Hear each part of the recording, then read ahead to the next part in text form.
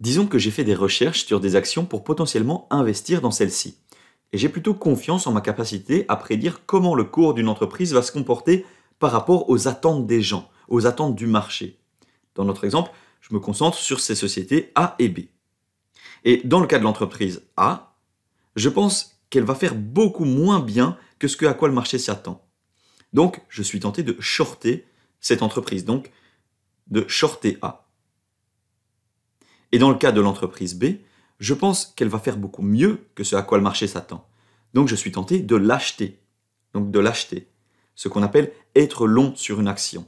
Donc, l'acheter à long terme, vraiment investir dedans. Mais il y a une chose à propos de tout ça qui me fait douter un petit peu. En effet, j'ai confiance en ma capacité à lire les entreprises, à prédire quelle entreprise va surpasser les performances estimées par le marché ou celle qui va sous-performer. Mais par contre, je n'ai aucune confiance en ma capacité à prédire le marché lui-même. Donc en général, et laisse-moi dessiner un petit graphique ici, le graphique du marché, ça c'est les prix du marché. Peut-être que c'est le SP 500 ou le Nasdaq aux États-Unis, ou bien l'Euronext en Europe. Et je me rends compte que le cours du marché est vraiment très aléatoire ici.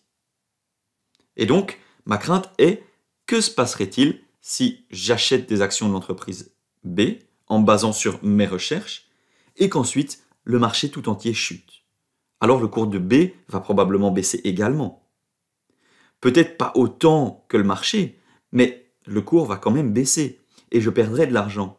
Et si je shortais la société A et que le cours du marché tout entier grimpait. Peut-être que la société A ne monterait pas autant que le marché, mais je perdrais quand même de l'argent quand je couvrirais mon short.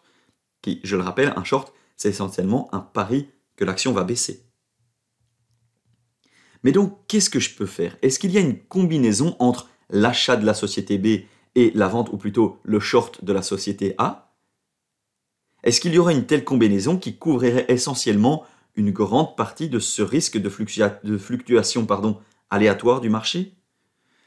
Comme tu peux l'imaginer, oui, il y en a une.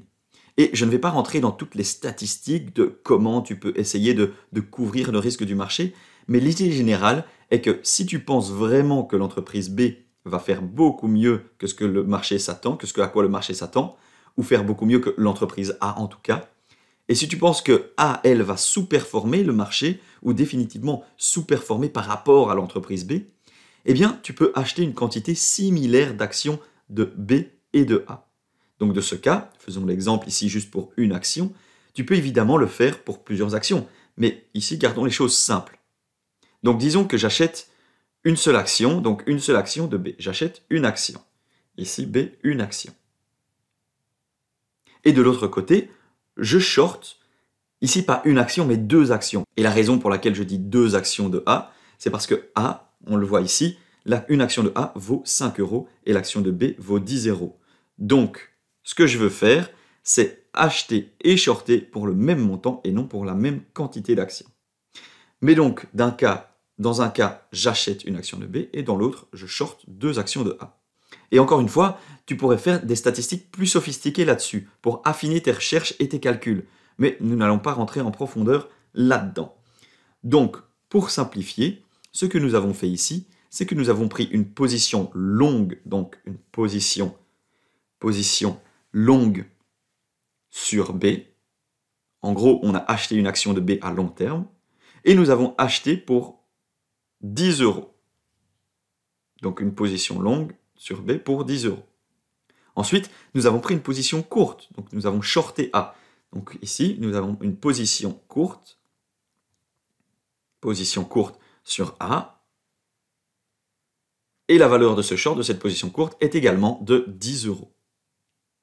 Encore une fois, parce que A est à 5 euros et on a deux actions de A, donc 10 euros. Et maintenant, et en fait, je vais peut-être garder ça pour la prochaine vidéo, mais maintenant, je veux que tu réfléchisses de ton côté à ce qui se passerait si le marché bougeait à la hausse ou à la baisse, mais que B performe toujours mieux que A.